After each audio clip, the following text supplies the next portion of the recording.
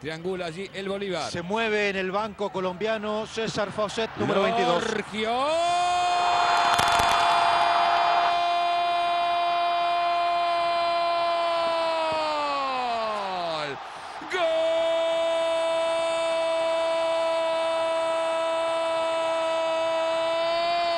Bolívar, golazo del Orquio en el ángulo. No llegaban ni 10 ángeles bien juntos. Gran gol del equipo de Hoyos, lo hizo Lorgio. Así son los goles en La Paz. Así son los goles del Bolívar. Así gana el Bolívar al Tiburón.